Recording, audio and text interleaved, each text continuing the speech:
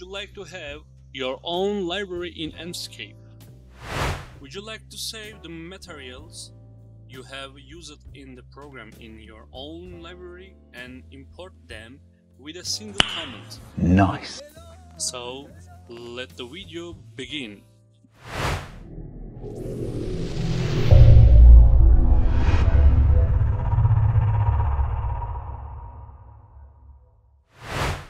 Everyone, greetings to all of you from our video today. I will explain our work through a wall model. First, I created a wall mass. We will assign material quickly, immediately. I choose material from the adding texture. Uh, when we import the material, I write its name, Japanese wall, Next, I quickly scale the texture. In the meantime, I'm checking on the other monitor. From time to time, I will sh shut and show the screen where I record the screen. Yes, we have assigned our material. Uh, I will even show you the material editor section. Here, we adjust the height map and the reflection section if any and uh, the texture uh, the texture maps we have imported from the outside according to values we want. And then we are ready to save the reason for this is so that uh, we can save these settings and use them in our other works as you can see, since uh, we have the displacement map file, we import the file and prepare its settings. Then, since there is no reflection file in this texture file, in throw a random file. If you have it, you can use it later. Let me show you the Enscape screen while I have uh, prepared the material settings as you can see, when we make the adjustments, uh, you see the filling uh, of the of depth on the wall. It looks uh, even clear clearer uh, when I also adjust the direction of the sun.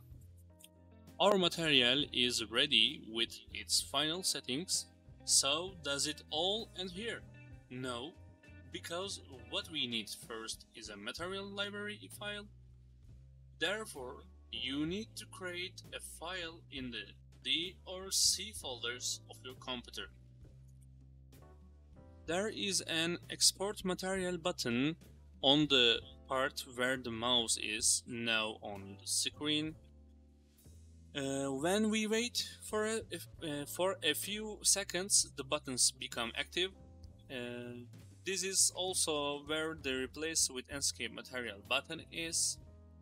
Uh, when you press the export button, uh, we, uh, we package uh, the material settings uh, we have prepared and save them in the relevant uh, folder.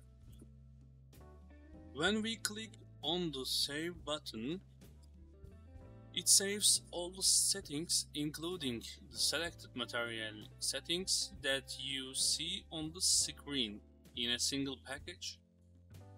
Just so we don't have to deal with it separately later. Let's test it now, by the way. Uh, let's delete our current scene and even open a new file Let's create a wall surface uh, with the rectangle tool right, right away. Uh, let's remove uh, our wall with the push pull tool. Yes, we have now opened any empty file. Uh, we prepared our, or our wall. Uh, we want to assign a material here. In order to assign a material, we need to assign a color. Uh, while the material we have assigned uh, is selected, uh, we import the previously saved material into the program by clicking uh, the three dots on the selected one in the materials section uh, materials area on the material editor page uh, and using the import material package option then we understand how it works as you see on the screen. That is all. I hope what you have heard so far has satisfied you. Uh, by the way, sorry for my bad English. If you want more tutorial videos like this, please let me know in the comments. Waiting for your comments and like. Uh, we needed uh, this for YouTube to feature or video. Thank you for your support, dear viewers. See you next time.